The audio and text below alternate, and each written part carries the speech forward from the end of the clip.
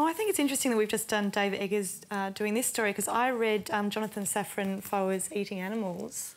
Uh, You're still on about your veganism. I, am still on about it. I still am a vegan, but it's. I think it's interesting. A lot of the, the literature about um, you know factory farming or eating animals or animal rights tends to be quite shrill and inaccessible and and pious, sanctimonious. And this is a very accomplished writer writing a very warm, funny, fascinating, interesting book about eating animals. I mean, it's, it's, he, he says he, he took this journey because he had a son and he, you know, dabbled with vegetarianism for a while, but then thought, I'm curious about what I'm feeding my son, what goes on his plate and how it gets there, so I'm going to undertake this journey. And it's, it's not a book necessarily advocating vegetarianism, which is why I like it. It doesn't beat anyone over the head.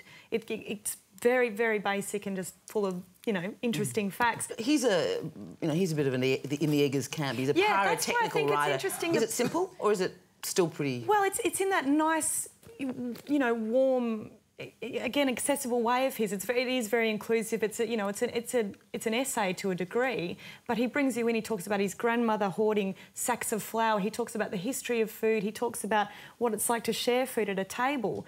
And while it's easy for someone to say, I'm vegetarian, I, I can't eat that, you know, everyone sort of accepts that. If you say, I'm sorry, I, I only eat family farmed meat, or I only eat, you know, meat that comes from a sustainable farm. That's a lot more of a bombshell these days. So, yeah, I think it's really fascinating that these writers that are, you know, quite groovy, quite cool, are sort of undertaking these journeys where they're either giving more or exploring more of their world and sharing it with mm. us. Okay. It's, it's wonderful.